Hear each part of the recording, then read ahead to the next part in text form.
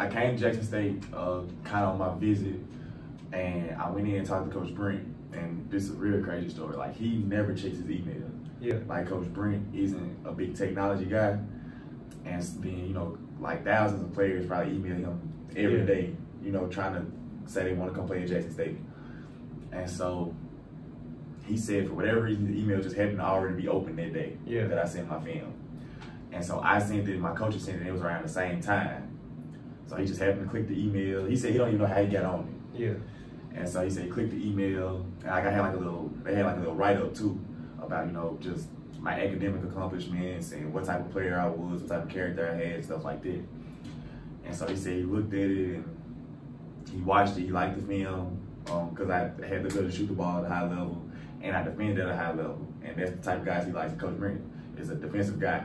Yeah. Like, and the fact that I was taking charges and willing to guard and stuff like that, that really stood out to him more than even shooting threes. And so he actually emailed me back not even 10, 15 minutes after I sent it. Yeah. And I really was shocked because I had been sending film out like two or three days before that, like all Yeah. throughout the days. And I might have got like three or four emails back from everybody. And so he was one of the people that emailed me back. And so um, he asked me to come down and play pickup with the guys and meet with him and talk to him and stuff. So I went down. Um, and I mean, the rest was history. Like he, he told me that story about, and so like he was like, man, that's crazy. Like I never checked my email. Yeah. And so like that moment was kind of like, man, this is where God want me to be. Like this is where He wants me to be. And so at first I was, I knew that, but I was still hesitant because Coach Green only had one year left on his contract. Yeah. And so I had taken a visit to Alcorn. I had gone to Mississippi Valley. I had gone to Alabama State on a visit, and I had also went to Young Harris, which is a D two, and University of West Georgia, which was a D two. Yeah. And so while I'm on the visits, you know, some coaches try to talk you out of going to other schools and stuff like that. Yeah. And so Coach Brent, like Coach Brent was, a, he's a real straightforward person. So he told me, he's like, I got one year left on my contract. Like, I'm either gonna get an extension or I'm gonna get fired based off of what happens this season. Yeah. And so I, it almost made me run from it. Like I was scared because I didn't know what was gonna happen in that one year. And a lot of times when new coaches come in, they Yeah. send certain players home and stuff like that. When new coaches come in, so I didn't want to go through that. I wanted to go somewhere where I felt like it was a more solid situation. So I visited all the other schools after I came to Jackson State. So then none of them just worked out. Like I didn't feel at home. Yeah. And so I was like, man, I'm just going to Jackson State. And whatever's supposed to happen, gonna happen. So it's crazy. Now every school that I went to, because I thought Coach Brent was gonna be there, all their coaches have been fired. Yeah. And none of them are there. Coach Brent's the only coach that recruited me that's still at his job. Yeah. So I, like I said, I think everything worked out the way it's supposed to. God always works out stuff the way it's supposed to. Yeah. So I know. Uh, I think your first year here you got injured. I Mhm. know some of you hurt like your I, ACL. I uh, broke my fibula. I broke your Yeah. So how was that process and everything going back? That was tough. Uh, I was in a real dark spot, honestly, um, mentally. Um, that took a toll on me because I had worked so hard during Yeah. that summer, just trying to get right and be ready to play at this level. And I like the first couple of weeks back in practice, I was having, I was looking great. Like I was Yeah. shooting the ball well, I was moving well. I had dropped a little weight that I had picked up. And I, I was, I felt like I was at my best, like as a basketball player. And we were in the middle of practice, and I just came down wrong on one of my teammates' foot, Yeah. and my leg kind of turned and snapped. Yeah. And I like I felt that I knew immediately something was wrong. I tried to stand up on it, and I just couldn't stand up and stuff like that. Yeah. So I went, got the MRI, got the X-rays and stuff. They told me what it was. Um, they put me in a cast, which luckily it wasn't bad enough for me to have to have surgery. Yeah. So they put me in a cast, and I was able to get, you know, do my recovery and do my rehab and things like that, so I get back on the court. But I, I was at a very dark place mentally, just because I knew I had put so much work in, Yeah. and for, I felt like it was unfair, you know. Uh, it worked, like I said, it worked itself out. Yeah. But like even just just going back to like any sport, I always know just for having a whole lot of injury and I was working hard. So what goes to your work ethic? Uh, my mom and my dad. Um, like anybody that knows either one of my parents, they'll tell you like they're, like they're all in. Like Yeah. whatever they're doing, like they don't know how to. I tell people all the time, like my parents don't know how to halfway do anything. Like they're either gonna commit and do it all the way, or just like they're gonna tell you they can't do it. Like that's just in their nature. So seeing that my whole life, it just was instilled in me early. Like if you're gonna do something, do it all the way. Yeah. And like, I, one of my favorite Bible verses is do everything wholeheartedly as unto God. And like, like that's kind of the mentality I took. Like, if I'm gonna do something, I'm gonna do it all the way. I'm not gonna half halfway do it. And so that's really where that came from. All right. And then I know I interviewed a football player. You said with COVID going on, y'all get an extra year. So you plan to come back and return next year? I do, yeah. Um, we actually sat down with our coaches um, last week and kind of discussed who was coming back and who was planning on just kind of moving on with whatever they had. And so we talked and we decided it was probably best for me to come back. I get to finish my masters Yeah. and things like that, get to play one more year, try to win the championship. Okay. So do you have any like? Are you gonna try to go like overseas or maybe go to G League or something, try to get to the league? Or you gonna- Um, honestly, for me, my biggest thing was getting the Masters. Yeah. Like, and honestly, like I want to win another championship and win the Masters. And like, really, like the way we lost in the SWAC tournament, off of the, uh, well, being up by three, then getting the buzzer beater to hit to go in overtime, then lose by three in overtime. Like, I, I want to go, I want to win a tournament championship and finish my Masters. Like, that's the biggest thing for me. Um, if I happen to have a big year and make a big jump, and I do get an opportunity overseas, would I take it? Yes, but like I'm really ready to start my coaching career honestly after I get my master's. Okay. Yeah. So I'm trying to see like where would you want to start off coaching? Honestly, I prefer to coach at the collegiate level. Yeah. Um, I've actually been offered some high school assistant coaching jobs and stuff like that because I have like my certification in teaching stuff. Yeah. But my passion is to be able to say I, I want to go recruit, do player development and stuff like at the collegiate level. So whether that's starting at a junior college maybe Yeah. as an assistant, or starting at D two, or you know whatever, starting as a grad assistant somewhere at the Division One, uh, whatever the case may be. I'm I'm really ready for that for that grind of working my way through the college ranks. All right.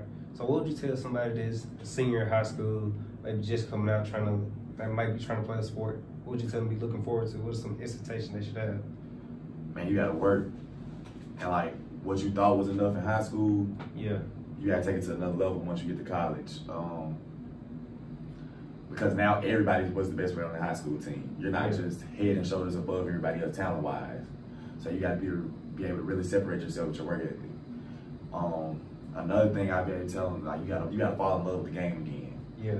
Like in high school, you kind of like you said, you get by with just being more talented than everybody, and it's not a grind. Like you go to class, eight to you know twelve or one, you go to practice, then you go do whatever you're gonna do for the day. You know, what I'm saying? once you get here though, and like you're only doing that during basketball season. Like you can't even Yeah. practice after school.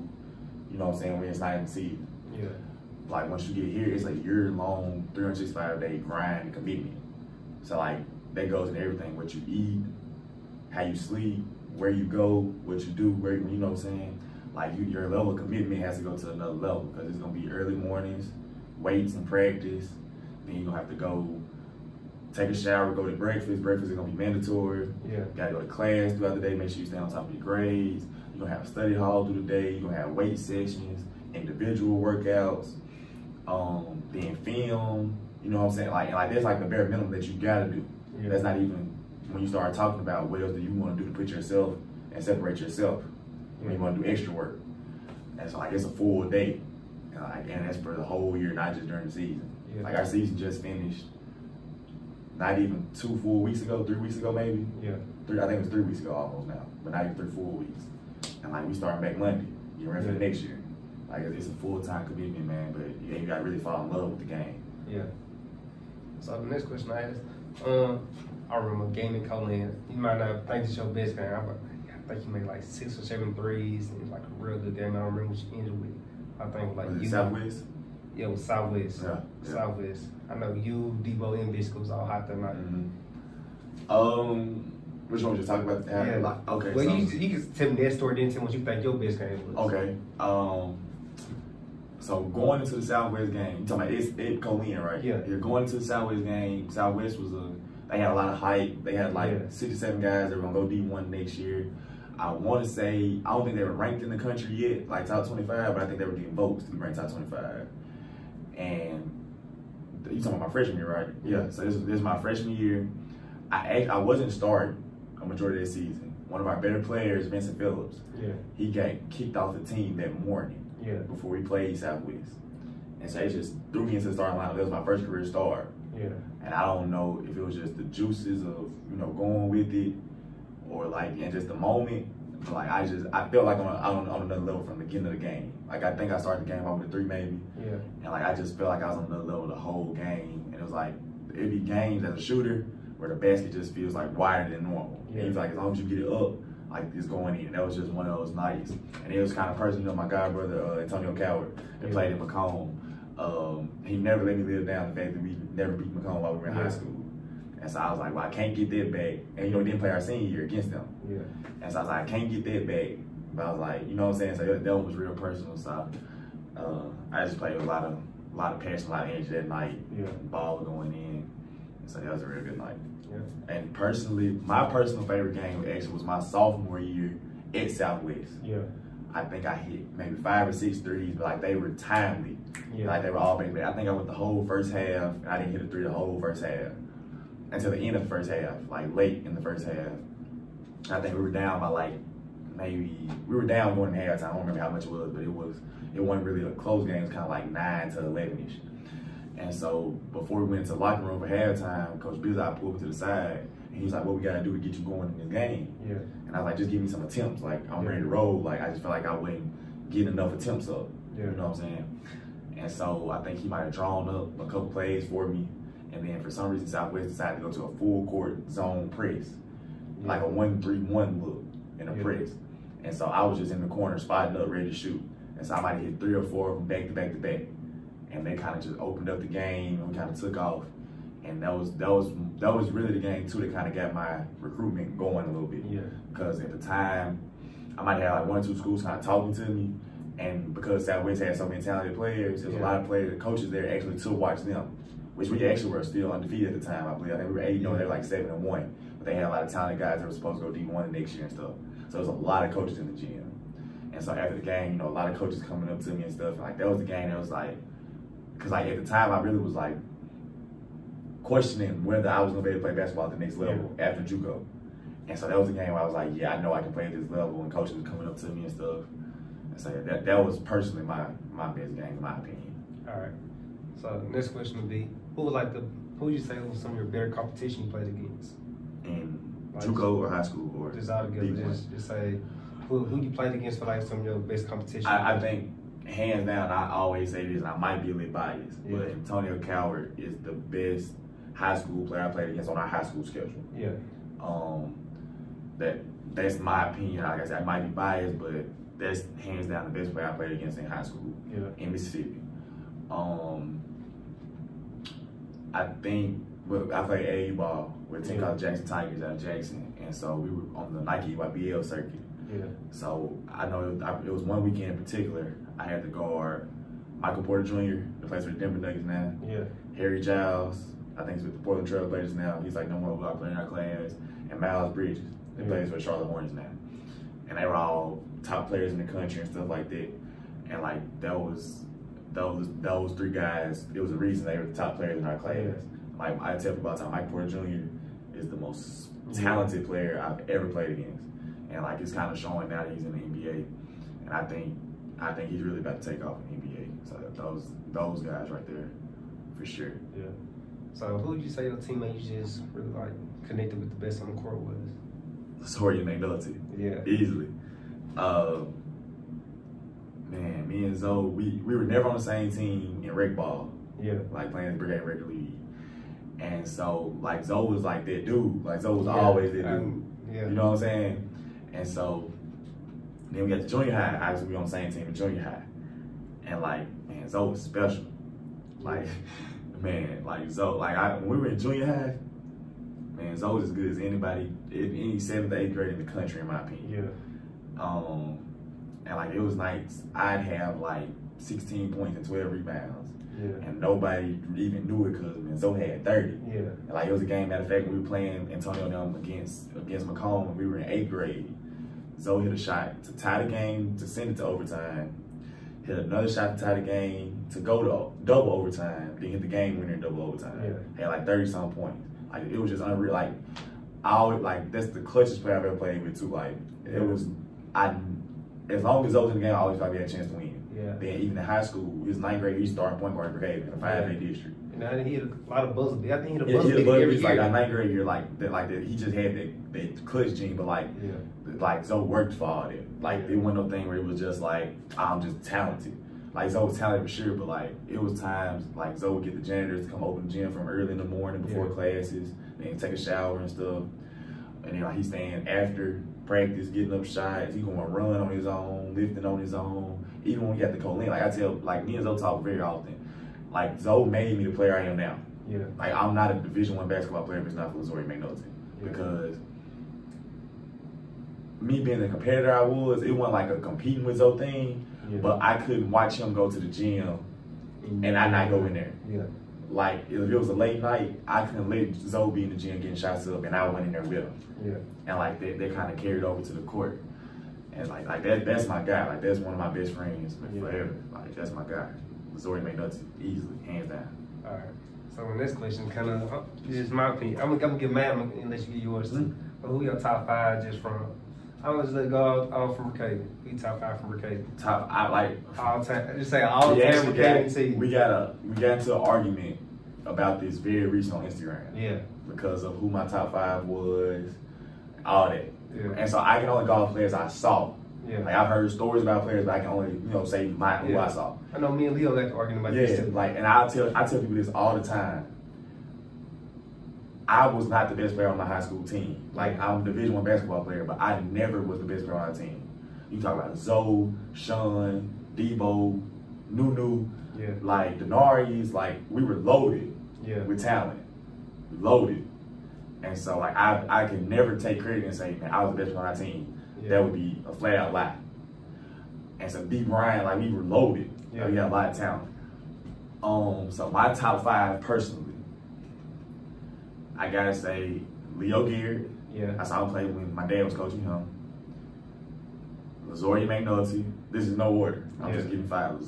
Leo Garrett, Lazoria McNulty, like starting as a ninth grader, probably hit the thousand point club, and if he did, it was only because he was a great teammate and Yeah. he didn't care about scoring all the time. Demarius Brooks, who came as a ninth grader on the team that was already loaded and still separated himself as a starter as a ninth grader. I gotta go.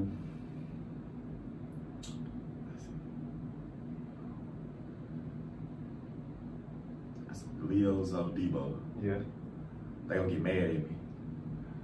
I gotta go with Darius Thrasher, Duke. All right. Gotta go Duke. They best one ain't gonna be mad about. Yeah. But I, I'm I'm telling you, I'm taking Duke. Like Yeah.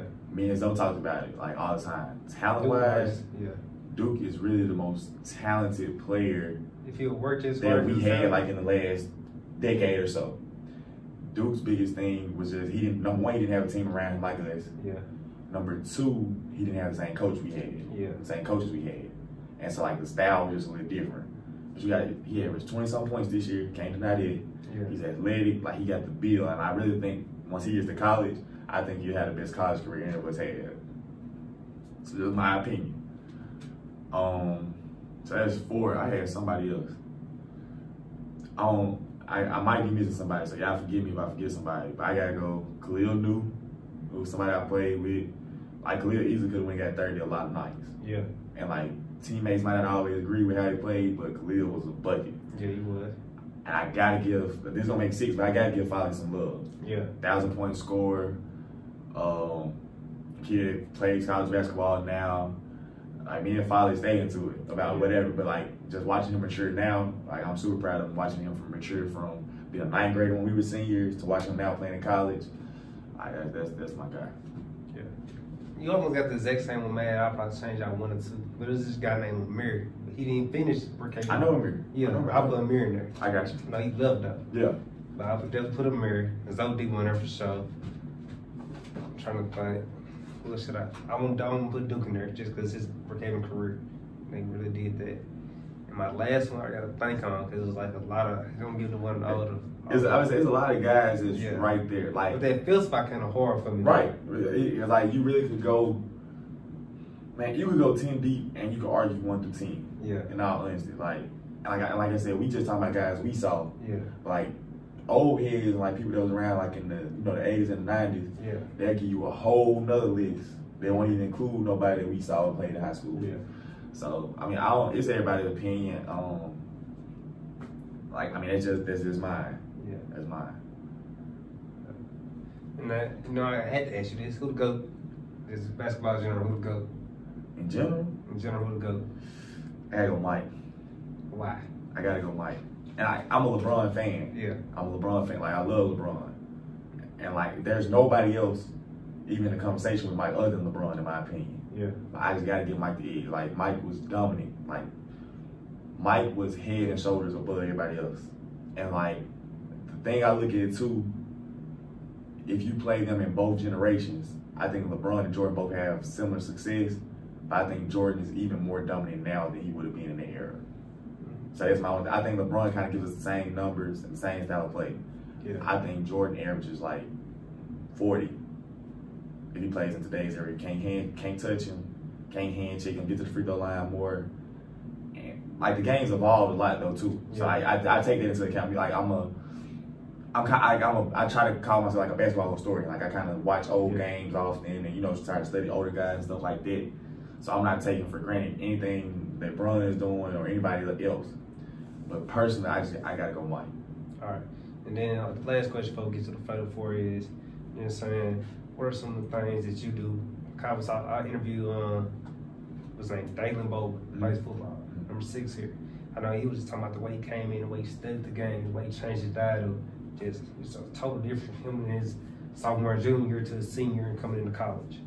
What some things you changed up and really zoned in and started studying and and stuff like that? I'm gonna be honest. The first year I was here, even before I got hurt, like I was telling one of our kind of younger players that's a freshman. I was telling him this uh, a couple days ago. I really kind of lost focus once I got to Jackson State. Like at Co-Lin, you in West Yeah. Mississippi, you don't have nothing else to do. I went to class, I was in the gym. I went to class, I was in the gym. Gym, gym, gym. Like, Mm-hmm. and so like I lived in the gym, and then I got to Jackson State, and it was like There's a lot more to do. It's a lot more to do. Yeah. Like you got hot spots going on, you know, you got Greek stuff, you got parties, you know, just girls in general. Yeah. All the like all these different events going on on campus and stuff, and kind I kind of lost my focus. Um, and so I wasn't getting in the gym as much. Like I still go to the gym, but it wasn't Yeah. all the time like it was. And like that showed in my play. Like I started struggling shooting the ball a little bit, gaining a little weight. I'm eating good in Jackson, like you know, it's a lot of different eating spots and stuff. Eating good, I gained some weight, start worrying about girls and stuff, you know, lost Yeah. focus and stuff like that. So what I when it really clicked for me was after the injury. Yeah. So after the injury, I hit the weight room real hard. Like, I had put on some weight too with the injury, and so like, I hit the weight room real hard. Once I get out of the cast, and when I went into a boot, but like once I, I could take the boot on and off, so I really kind of get back to lifting, and so I started eating right. I actually stopped eating meat for a long time just to get my body back right. Yeah. Um, and I really felt the difference with that. Now, I have gone back to eating meat since, Yeah. but like there are times where it's like I can feel my body kind of get back up and down, and I was like, I'm not gonna eat meat for a couple weeks, and then that kind of picked back up. You know what I'm saying? And so like he like I, my diet really changed a lot. Um, just what I was putting into my body, I started paying more attention to that. I started getting more sleep. Like that was a big emphasis for me one time. Cause like we practice in the mornings here at Yeah. J State. So it's like I can't go to sleep at one, two o'clock in the morning and be out all Yeah. night and expect to go have a good practice at six o'clock in the morning. Like my body's just not gonna work like that. And so I started focusing on getting more sleep. Um, I, I just kind of I rearranged my priorities. Yeah. Like that was the biggest thing for me. Like I went back. It was basketball, like school and basketball. Those priorities. Everything else had to fall in line. Yeah. And before it was kind of just everything was kind of up, you know, in the air. And so once I really liked it on my priorities, like I said, changed my diet, really just got back in the gym more. It started showing my plate. All right. So next next segment of the show is our final segment of the show. It's called a Fatal Four. It's four quick and easy questions like to ask everybody. All right. So if you walked outside today and somebody cut you a million dollar check, what would you do with it? Ooh. Million dollar check.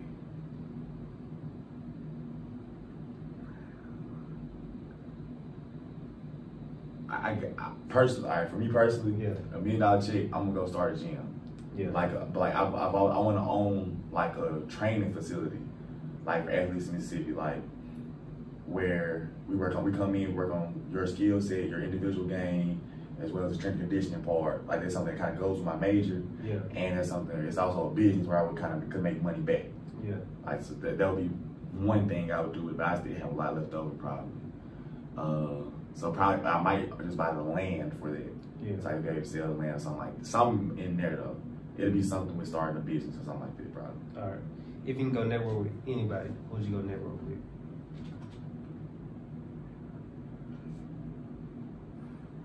Hmm. Tough question. Jeff Bezos. Sure. Jeff Bezos. Genius. Genius, for Yeah. sure. So the next question would be, if you can go back and talk to your 17, 18 year old self, what would you tell them?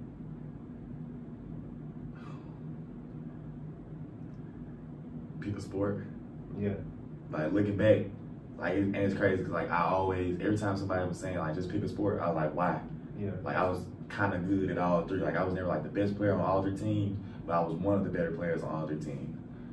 And so, but like knowing what I know now, if I had just focused on basketball from time I was 16, 17, 18, and just played it, I, Yeah. there's no telling how much better I would be. But then you did some part, you started in three sports though. Right, and I mean, I, I agree, but like, that was like, if I knew Yeah.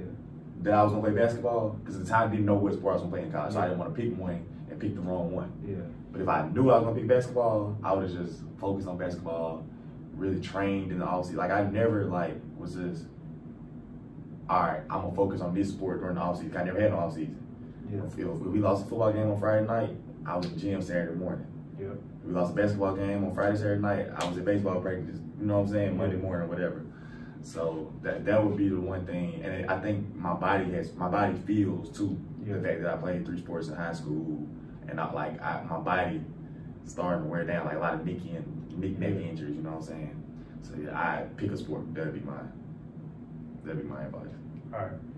So the last question will be, if you can choose, of having a credit line, wrong credit line, basically a credit card has half a million dollars on there. You can use as much you want, but you gotta pay it back. Or you can just get five hundred thousand cash. Which one would you take and why? It's gonna sound bad and embarrassing, but I don't know nothing about credit. Right. Like I'm really not the most. Um, I'm not the most economically inclined person. Yeah. And so I, that is something that I've actually recently started to kind of learn about and work on. So give me like a year and I have a great answer for that question. All right. yes, sir. This man D Will, my boy. Appreciate yes, you. sir. having You want to give me all your social media handles? Don't know where they can Uh, get you you. follow me on Twitter at I am underscore D Will. Follow me on Instagram at dwill.12. And that's really it. Yeah. If anybody like inspiring athletes or anything, can DM me ask you a question or something. Nah, for sure. For sure. I'm an open book. Um, outside coach AAU team, Snake Pack Elite. We actually got a tournament coming up this weekend. So any young guys that, you know, play ball or whatever, you want to train or get with our AAU team, feel free to reach out. All right. Any closing words for any young athletes? Nah, I appreciate it, man. All right. appreciate it. This has been Legendary Visions, and we out.